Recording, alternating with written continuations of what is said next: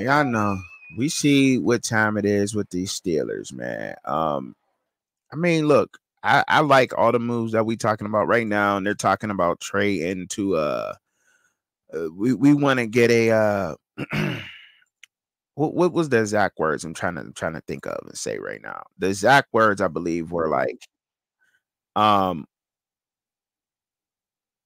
we want to try to trade for a offensive lineman, and I think that's where we go.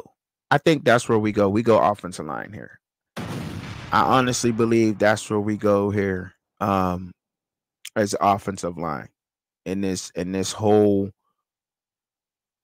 draft and uh you know with the draft and everything that's where we go is offensive line that's our best bet that's just our best bet man uh because there's look there's a lot of talent out there at receiver i think we have a deep roster of talent and hidden talent on our roster i believe we have hidden talent on our roster yes and we got two decent running backs so we don't have to go running back we need depth at offense and uh, offensive line. That's where we go. And quiet is kept. Who do I think there's going to be there? I think there's going to be some talent out there on the offensive line in the first round, 20th pick. And I think, look, and that's not a reach. You can never reach and go wrong with a pick if you're picking our offensive lineman early in the draft. You that's never bad. That's never bad. You can never reach. Do y'all agree out there? Do y'all agree with me? Like you can never reach when you're talking about an offensive lineman, right? So I'm gonna do the liberty and I'm gonna kind of switch it. I'm gonna try kind of switch gears here just a little bit, y'all, just a little bit this morning. I'm gonna pull up PFF. I'm gonna go to the big uh, draft board. I'm gonna take my time and we're to go look through and um, look at some of the offensive linemen that's out there right now and and the NFL, right? In college football. We're going to go ahead and we're going to look at some of the uh, offensive linemen that may be out there. So let me let me get this PFF pulled up real quick cuz this is this is real, it's authentic. I'm not, you know what I mean? Um so we go to the big board, right? So I'm to share this tab, right? and you can do this also. This is just easy. Let me see. This this is just PFF. Um it's just, you know, this is the big board or whatever on PFF. We'll go to position. So we can go uh what we say tackles. Okay. So do you think Joe O will be there, right? And see, most of these guys, right, in college, their speed, the way they move, um, being young, these guys can move, meaning that they can still switch to the interior offensive line, right?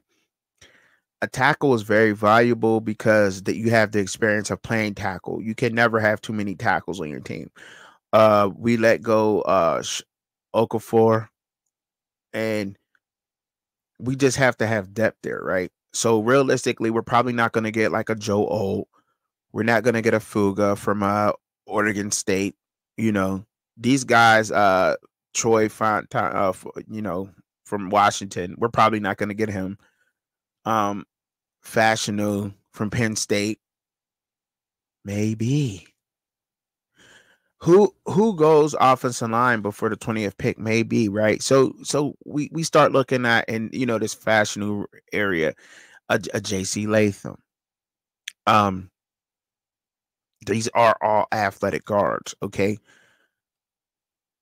Mims, do we do we go and grab a Mims? And now I, I see what PFF got him ranked out of 75. That is not bad, right? That's at tackle. That's a t- and that's a decent tackle rating, right? He's right there at the cusp of being an all pro. Right?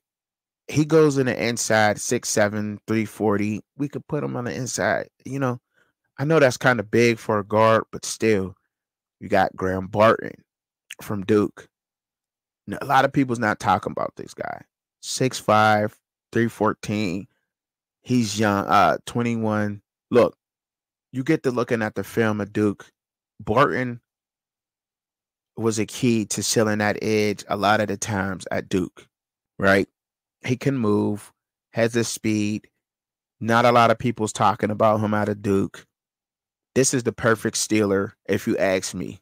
Um, it, it really because coming from out of North Carolina Duke area, you know what I mean. Look, the kid can really play. He's athletic. He's an athletic tackle, conceal the edge, and he can also transition into you know playing guard if need be. You know, being young to get his skill up up until we develop him as a true tackle where he's at. He has, you know, has a potential there, right? So we get to looking at like, okay, Tyler Guyton, uh, Jordan Morgan, you know. See, these are some of the guys that I'm talking about that'll be there for us. You know, Blake Fisher, 6'6, 312 from Notre Dame. Monster, Patrick Paul. Like these is like and and these guys will be there for us Steelers fans. These guys will be there for us, yo, to get on the offensive line to shore up our offensive line. Now when you get to looking at actual guards, actual guards, right? There's a lot of guys from Michigan on there that I like. You know, like Trevor Keegan, 6'6, 320, Zak Zinter, 6'6, 322. I like those guys. Anybody off that Michigan offensive line in the next, you know what I mean? They'll probably be grabbed up quicker. But I like, um, I, I even like Cooper Beebe. I like him, right? I like him too from uh, Kansas. I really like him for, because, but he'll probably come off the board faster. And I think that's where we go. He'll probably be one of the first guards off the board, believe it or not, even though he's ranked at 126 on the big board because offensive line is a need that's fixed. But we definitely go offensive lineman in the first round, 20th pick, 23rd pick, wherever we pick at. And I think we can't miss on that.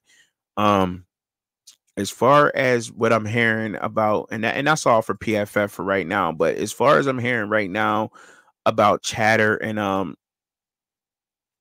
as far as with our Steelers and our quarterback situation, um, everything is the same. Everything's the same right now. Obviously, Justin Fields is going to compete for the uh, position. Right now, you can get your